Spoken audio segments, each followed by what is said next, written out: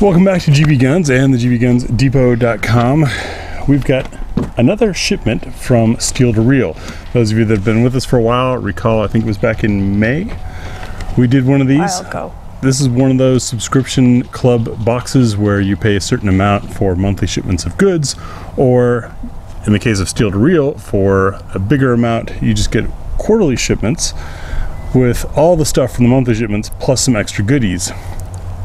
Today we're going to take a look at what comes in the late summer 2021 video. Coming up next. On GB Guns. Sorry, we uh, do have bees out here because we are in the backyard, not the range. So pardon the lack of gunfire in the background.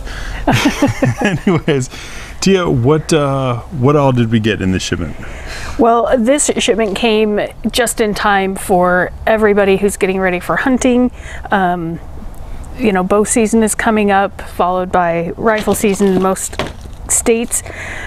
The one thing that is similar from the previous is the um, the ReadyMan, these nifty little credit card size tools. This particular one is saw blades. Um, and I didn't read my cheat sheet for it like I should have. All of this stuff, by the way, we've looked up and found independently. So if you're curious in just one of these items, uh, the GB Guns Depot will be your place to see where that is. Uh, the last of these ReadyMan cards had snares and fish hooks and all that kind of stuff. This one, uh, It's called the hostage escape card, which I think it's just perfect to have in your pocket. it's not, not a bad idea. It looks like we got some lockpicking tools and a little saw blade, and is all on a stainless steel sheet. Next is the ultralight compact purifier. These things are indisposable. It beats having to carry tablets around with you that could, you know, lose their um, I mean, they could disintegrate in your bag. You could open them and lose them. Dump more than one when you don't need it. It's a water purifier, and from what I've researched, you fill this base cup and then smash down this top cup, which forces all the water through the filter at the bottom, which I think is pretty cool. I imagine it takes a wee bit of force to do since it's already pretty tight seal when you smash it in there without water. But uh, yeah, and the back of the packaging shows somebody pressing down from above. And the seal is enough that when testing it without water, if the cap was on, um, it, it, did not go down. So you would definitely, um, it, it wants to move something. So it's, it's really sealed, therefore gonna do its job really well. And certainly handy for folks like us in the Pacific Northwest, where there's usually some running water, running water somewhere nearby when we're out in the woods filming. Um, some survival food handy. supplement tablets. Those are great to throw in your bag along with that water purifier, and you could be good for some time if you had, if that's all you had to rely on. Um, we haven't tried them because I'm a believer in having some kind of backup supplies, but Graham's gonna try them. but it's food and they say they're chocolate flavored. It's it's one tablet or two tablets every 12 hours. I don't know how I feel about this. My great grandmother used to give these to me. it looks like a little vitamin, vitamin pellet. It's interesting though. I expected them to be kind of a like gummy, if you will, not a powdered tablet. I'll forego for now. I was thinking like a toffee. You sure? It's pretty good. Okay, I'll try it. I was expecting like a toffee type thing. Um, these chew up. It's kind of like uh, if you've ever just What's that term for your pre-workout? Dry scoop. like when you just dry scoop some hot cocoa. That's kind of what it tastes like. Not too bad. I think that's worth having around. Another absolute must in any survival kit, backpack, you know, I've got a little box in the back of my car, is something to be able to start a fire with. This is the live fire. Little, we didn't open it. No. But, because I think preservation is key. Yeah, it, that's kind of the tough thing is you get this cool stuff and you want to try it out, but as soon as you try it out, now it's no longer sealed and ready to go. This is supposed to be a water retardant thing, and the concept of it being in this little tin that's slidable is uh, you open it up, scrape up some of the fibers uh, and light those, and you can use the lid of the tin sort of as a throttle control on how much of it's burning. Um, it's just kind of some probably petroleum saturated fibers would be my guess. And in case it's dark while you're trying to get all of that going, you can always hook a flashlight onto your bag. This one has its little thing and it's rechargeable um, by USB. Yeah, we've we've already opened it because we wanted to check some stuff out. We also have photos uh, over on gbgunsdepot.com where we're taking a look at it. Um, a little USB chargeable flashlight that, of course, lights out the end and can strobe and then can light from Ooh, the that's so side. bright. Um, a little painfully bright even out here in the daylight. And you might be wondering what the heck good USB rechargeable flashlight is. Well, this box also has a solution for that. Yes. But let's say it's not dark when you get to camp. You know you're going to need a fire. This Hori Hori garden tool would be the dream for collecting the small brush, um, twigs and branches to maintain that fire um, as it starts to get dark. And that's right, folks. She said hori hori. It is. we looked it up. It's actually a Japanese term. The I forget what the the English word is now. When you have a word that is for the sound of something, I'm sure one of you can comment down below on what that is. But hori is the Japanese sound name for digging, like hori hori. You know, as you're digging in. I don't know, but I like that it's got this weeding tip on here. It also has some measurements. You know how deep you're going and a way to cut. It's by Fiskars, which is pretty nice, and comes with a sheath. This is something that uh, we certainly need in our yard here in the Northwest. we have invasive blackberries, which are cute and tasty until they're crawling into your yard. Now, a brief segue brought to us by a small airplane. We all know it gets dark eventually. And as Graham mentioned, we had a solution to keeping our USB products charged. This hybrid six piece solar pro kit by Hyperlight is Hybrid light. hybrid light, excuse me. Um, absolutely amazing. I get giddy when we get these boxes, and even more so as we start going through them. And this particular item did not fall short in that at all. No, in fact, we've already used it quite a bit even prior to filming this. It has been handy. all of the lights you see in here a, a big lantern this bendable one which has a front side and an end uh, a small i'm assuming waterproof floating type thing because it's kind of built like that we haven't tested that yet um, The bendy one also has um, a place you can plug it into the wall. yeah uh, which is pretty cool and these all have hooks on them so you can hang them They're magnetized. Some of them.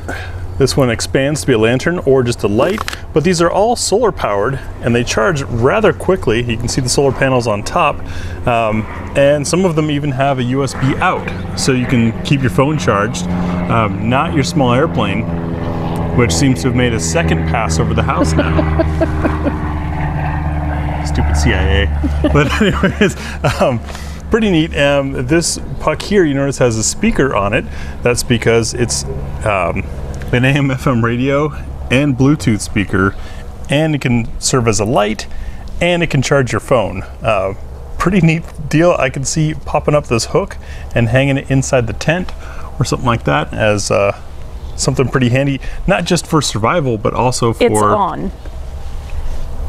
no. There's a red indicator on it. Oh, that's because it's charging. Charging. Oh, because we've opened it up and it's daylight out. that's so cool. Um, and a little headlamp that uh, is detachable and adjustable. Bends down here is also USB chargeable. Um, this one we've already used. yeah, sorry about the grease marks on it. My rifle was dirty and I couldn't see very well. But really handy kit comes with your cables. Um, even it looks like the micro type that uh, fits whatever the communists use, Apple stuff. Um, but anyways, um, very cool kit. Um, the this thing we looked at the pricing. I'm trying to remember. I think it was this particular kit, $280. but it's got everything you might. Oh, it's for. it's absolutely perfect. And if that's, you know, a little bit more than what you need, you only need one light. They also sent us the single um, version of the, the The Puck 150. the Puck 150. I wondered where he was getting this word. Uh, and this is that one that is the accordion style, as Tia is gesturing. Um, solar charging up top. There's your hanger hook, a battery indicator, which is lit up right now because it's charging because we opened the box. That is so cool. and you can have open here. It's got very multiple levels of brightness, uh, or you can keep it closed and just have it as a hanging light puck or handheld, however you want to use it. Now I say 280 like it's, you know, a lot of money and that may well be, but when you hear at the end how much this total package costs and then consider that in what your monthly subscription fees are, it's very much worth it. So now that we've gathered our firewood, made our fire, got our lights out, um, we also received this the aftershock preparedness 48 hour survival kit and I don't know about y'all, but once you get camp set up and things, the last thing you want to have to worry about is cooking. And I find this a perfect solution. But again, we're not going to try it because I like to remain a little prepared. yeah, I opened the box because I myself was curious how this stuff looked, how it was packaged, um, and it's all in these sealed bags that are re- reclosable. oh, I like this.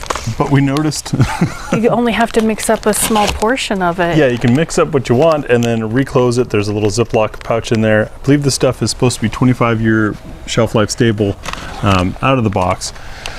The um, yeah, it is.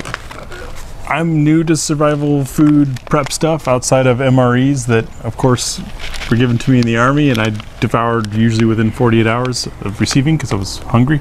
Um, seeing uh, the stuff like this, uh, I've seen some reviews of packages that aren't resealable. Um, it tends to come in servings of five per bag, just to reduce the amount of bags. And if it's not resealable, then you've got to eat your, you know, in this case, Cajun pastalaya over and over and over again until it's all gone. I'm thinking, given the names of some of this stuff, that we might might just have to delve into this one. Dried fruit. I mean, you could do so much with that. Um, it, if you had another type of box that maybe had some pancake mix in it, mix the two. Some chili mac, taco rice skillet. So And something else I've noticed with these, um, a lot of the freeze dried or um, survivalist food stuff, one of the complaints I've heard from a lot of folks is it tends to be nothing but carbs and sodium. And uh, just looking like this Cajun pastalaya is only 6% of your sodium. Uh, the harvest chicken and rice stew, only 1%. How's the taco rice skillet?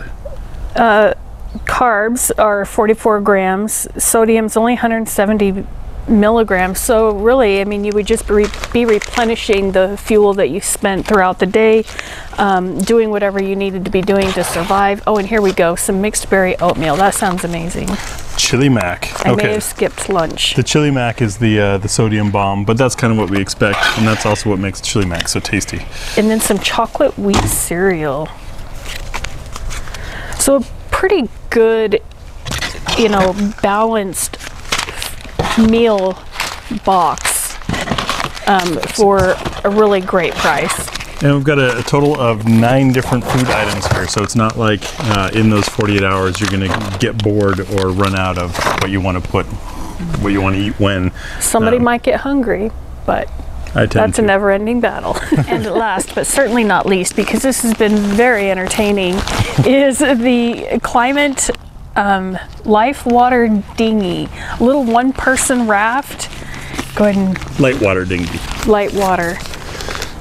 I just got off work.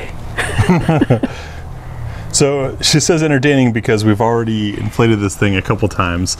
Um, this little package that weighs 44 ounces um, inflates to a dinghy that's pretty decent. Uh, Tia fits in it really well. I kind of fit in it. But what makes this so cool is this bag that it is stored in is the inflation device. Very small.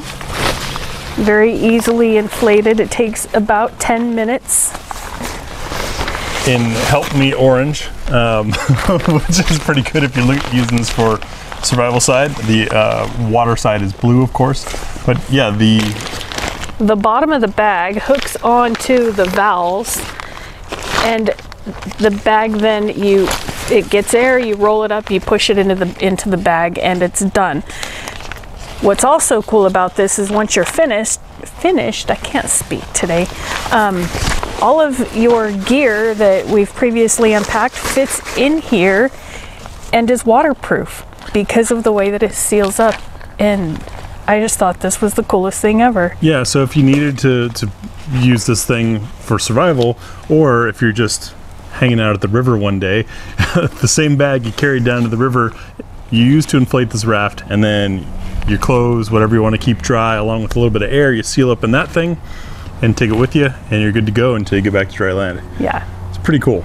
it is. So uh, this being the top level of Steel to Reel, uh, it's a quarterly fee or quarterly charge of $3.99. And what was our total value on this box? $688 if if you were to buy each item individually. Which is once again one heck of a savings, just like it was with last quarter shipment. Uh, this time, now that we have GB Guns Depot going, if you want to find any of this stuff individually and see a little, learn a little bit more about it, check out our article on gbgunsdepot.com. Thanks for watching.